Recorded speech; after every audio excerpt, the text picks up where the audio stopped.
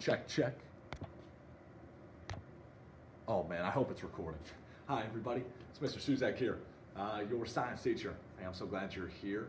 And if you're one of my full-time remote learners, uh, I want to uh, you know go over our lesson from Tuesday in case you weren't able to tune in or you needed some help, right? Because chemistry is something new, right? This is kind of a brand new topic for most of you. Maybe you've had little bits and pieces here and there, but this is going to be brand new. So I'm going to help guide you guide you through it uh, today. Okay, so chemistry. What is it? That's a good place. That's a good place to start, right? Hmm. Let's find out. All right. So, chemistry, okay, is the study of matter. All right. But actually, got to scroll up a little bit. I was actually down. Here we go. There we are. All right.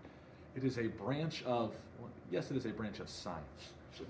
More particularly, okay, it is a branch of physical that really big.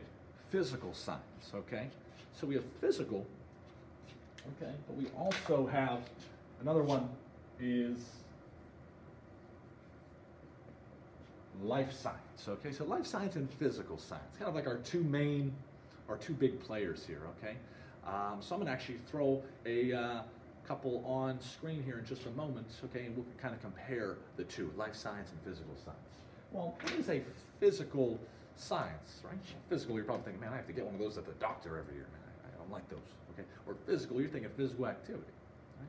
But when we talk about a physical science, okay, you can kind of just draw uh, maybe a little line. You can put a little little arrow here, okay? By physical, okay, it is the study of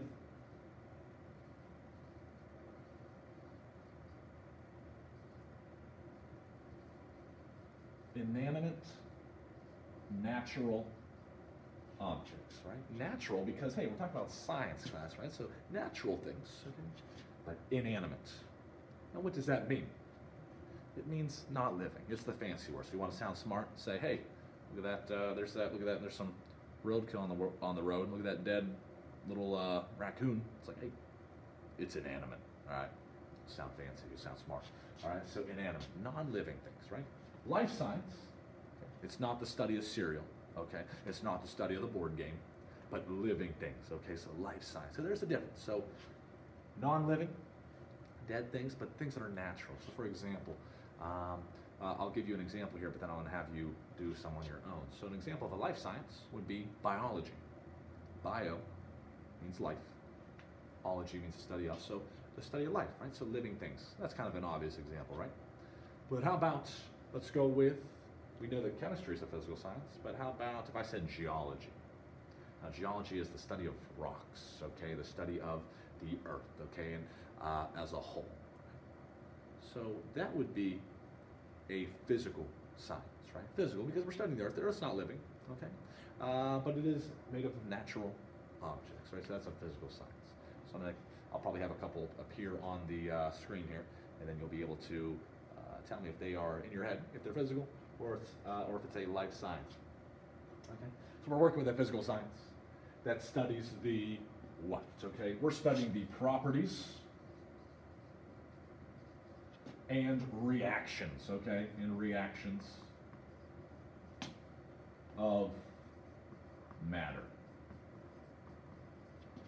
Properties and reactions of matter. Okay, now properties, if you don't, to help you kind of get a better sense of that word, if you want to put underneath it characteristics, that works as well. Just so you have a better idea, like, well, what do properties mean? Because when you think of property, you probably think, hey, I own this marker, right? I own this, this is my house, this is my car. Okay, you think property, but characteristics, things about it, right?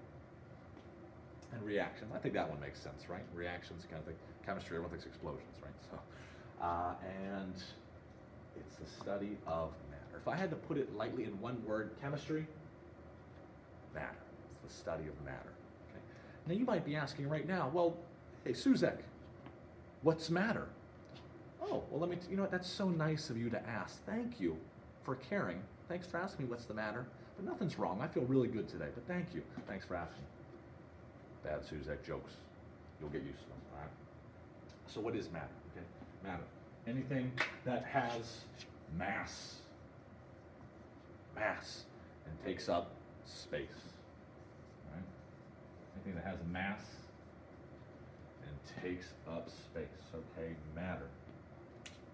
This mass, now, what is, what is, what is, oh man, my screen just, no, that's, must be a rookie mistake, rookie mistake, first video. Gotta make sure I keep my computer awake. It's falling asleep. I hope you're not falling asleep at home. Oh, please, stay awake, hit the pause button, take a quick nap and come back, okay? My computer is a bad example.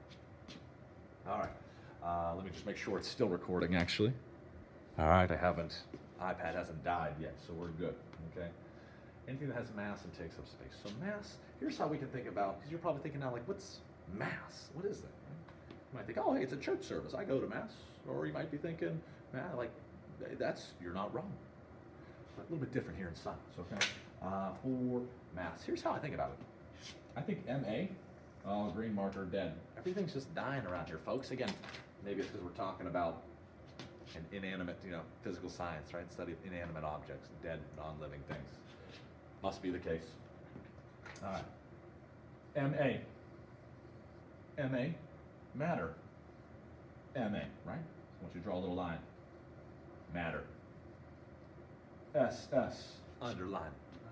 It could stand for super Suszek or silly Suszek, okay? But it's not. I want you to think smashed stuff. Boom, SS, smash stuff. Okay, because that's what that's what mass. That's what it is. It's the amount of matter stuffed into an object or into something. That's how you can think about it. Okay, so if you want to write that down, we can write that down here. Mass. The amount of matter.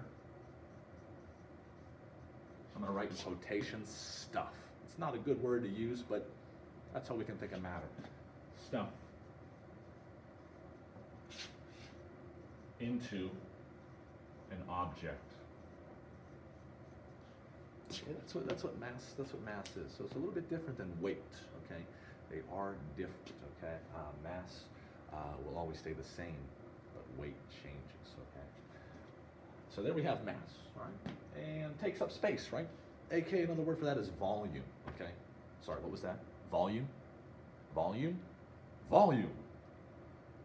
Uh, bad dad puns. All right. Takes up space, AK, volume, all right? Uh, let me erase, let me erase here, so hopefully again you can pause this screen at any time if you need, uh, need something, but let me erase what we have here.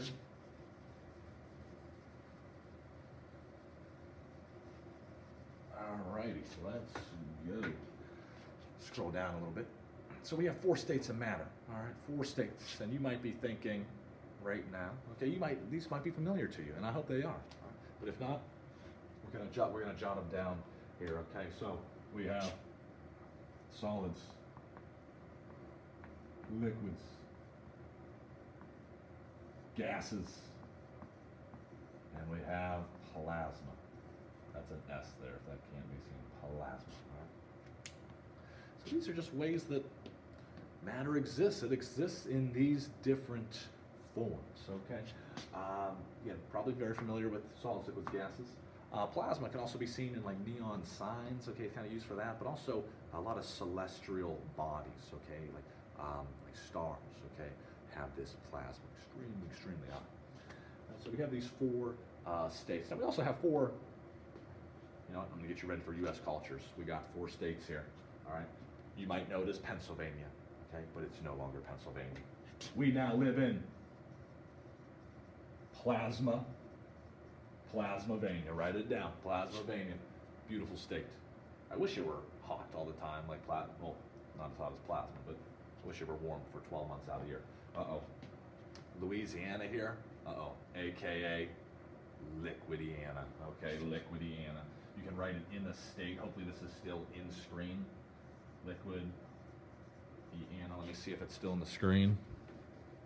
Oh, it's not. I'm gonna go down slightly there. All right, good check. South Carolina. Maybe some of you have been there before. AKA, it's no longer South Carolina. It is solid Carolina. All right. the, s- a state of matter, okay? In Georgia, this one doesn't sound good no matter where you put it, okay? If you want to put Gasgia, doesn't sound too pretty, all right? The name kind of stinks. Get my drift, all right? Or you could do George Gas. Again, I don't know. That one just can't sound good. The other ones say they're pretty solid, right? Um, so we have these different states, okay, that matter can exist. All right, and it's important to note what makes the state, what, what makes you switch states, okay? Think about you. If you want to go to a different state, okay, let's take a trip to Colorado, all right? Hey, you got to get there by plane, okay? You're going to fly or you're going to take a car, right? A car requires fuel, requires gas, right? A plane needs jet fuel, okay? They need energy, right? That is how matter switches states. Energy, energy, energy, energy, energy. That's how it switches states, okay? Uh, we did a few activities in class as well. Um, but I hope that this just gives you like a general run through of this uh, handout here and a little introduction to, to chemistry, okay? Um, again, just to put a concept, let me put the mass concept because these can be, these can be new, uh, new topics, all right? Um, so again, with regards to so chemistry, we're studying matter. Right? And you might be thinking, well, man, why why does chemi- why, why does chemistry matter in the first place? It's a very important science, right? And you know, many of the things that you do on a daily basis require chemistry, or chemistry is involved in some way, shape, or form. So it's really important. Okay. Um, I want to just show, maybe just give you an, uh, an idea of what mass is again, just so, because this can be kind of an abstract concept. I want to make it concrete, all right? So speaking of something that's hard like concrete, I got this rock here, okay? I got this rock, this little paperweight that a former student got me, all right? And I got this Oreo. Sorry, it's not a real Oreo, it's a plastic Oreo, okay? Which one has more mass, okay? This rock, right? It has, you know, these atoms and molecules packed in here. Wool of these atoms, you know, this this mass. You know, we're going to talk about that um, soon in a later lesson. Okay, atoms, molecules. Okay, that's this stuff that I was referring to. Okay, for matter. Okay, but there is more packed into this rock, all right, than this Oreo. Here's why. This Oreo is kind of hollow. All right, the inside it's plastic. It's hollow on the inside.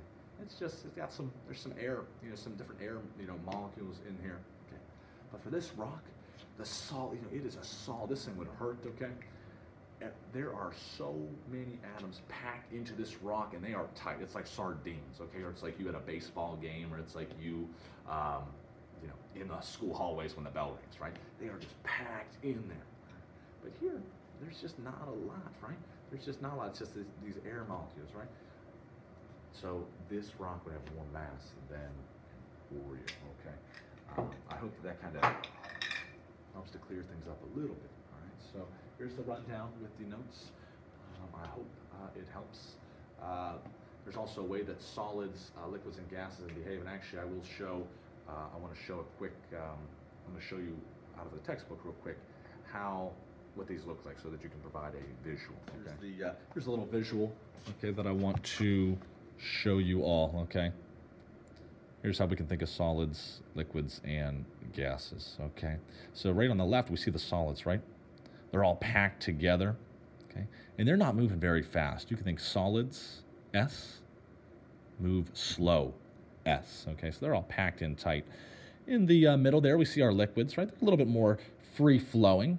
That's why it feels, uh, you know, when you jump into a pool, it doesn't hurt like it does jumping into uh, uh, jumping through a desk, right? Wow, that would hurt because they're all packed together, right? It's all close. All the um, the atoms there are packed in so tightly, all right. Uh, but the liquid, they're a little bit more spread out, right? They're a little bit more forgiving. And here we got our gas on the right hand side.